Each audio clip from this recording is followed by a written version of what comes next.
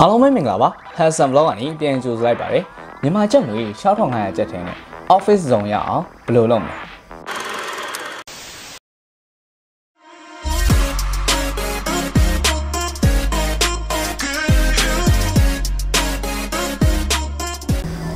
ကျွန်တော်ဟိုနေ့ကတငယ်ချင်းတွေအတူတူတောင်မြို့မိုင်နာဝင်းမှာရှိတဲ့ဖေတို့ဈေးအောင်သွားခဲ့တယ်။စိုင်တွေကတော့အများကြီးပဲရှိတယ်။ အချိန်ပေးပြီးတော့တေချာလေးရွေးမယ်ဆိုရင်တော့ကျွန်တော်တို့ brand တွေလည်းရနိုင်ပါတယ်။ကျွန်တော်လည်းရွေးနေရင်းနဲ့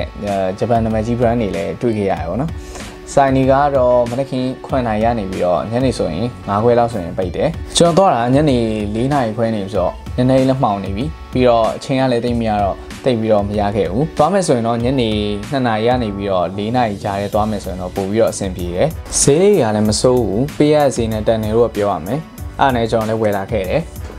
ကျွန်တော်ဒီအင်ကြီးလေးဝယ်လာဆိုရင်တစ်ထောင်ပဲပေးရတယ်။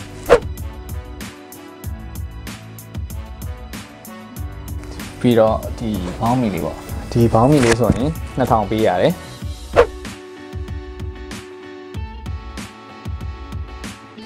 ပြောနောက်ခုကြံသေးတယ်ဒီကောက်အင်းကြီးပေါ့နော်ဒီကောက်အင်းကြီးဆိုရှင်อืม3500ပဲပေးရတယ် ဆိုတော့နာအားလုံးပေါင်းမှမြန်မာငွေ6500ကျပ်ပဲကျတယ်ဆိုတော့အများကြီးတက်တာရယ်ပေါ့နော်အပြင်မှာဝယ်မယ်ဆိုရှင်ကျွန်တော် T-shirt ထည့်တောင်1000ကျော်လောက်ပေးရတယ်ဆိုတော့ဒါလေးတွေကကိုယ့်ဘတ်ဂျက်အတွက်အများကြီးရွှေ့ထားလို့ရပါတယ်ပြီးတော့ကျွန်တော်ဘေတော့ဝစ်ထားတာကျွန်တော်ရဲ့တဘာပန်ချင်းကိုလည်းအများကြီးအထောက်အကူပြုပါတယ်ခုနောက်ပိုင်း vintage တွေပို့ပြီးတော့ခစ်စားလာတယ်ကျွန်တော်လည်း try ကြည့်မယ်ဆိုပြီးတော့တော့ဝယ်ကြည့်တာတော်တော်ရဲ့အဆင်ပြေတယ်ပြီးတော့ပေးရတဲ့ဈေးနဲ့တန်တယ်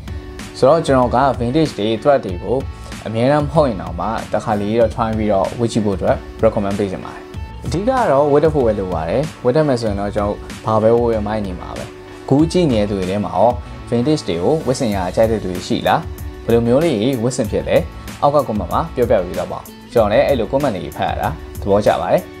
ဒီဗီဒီယိုလေးကိုကြည့်ရှုပေးရတဲ့အတွက်လည်းကျေးဇူးအများကြီးတင်ပါတယ် fashion နဲ့ပတ်သက်ပြီးတော့လည်း tips and trick လေးတွေ outfit idea လေးတွေကိုသိချင်တယ်ဆိုရင်တော့ကျွန်တော်ရဲ့ page လေးကို like and follow လုပ်ထားလို့ရပါတယ်နောက်ထပ်မတူညီတဲ့ vlogs တွေမှာပြန်လည်ဆုံတွေ့ပါမယ် bye bye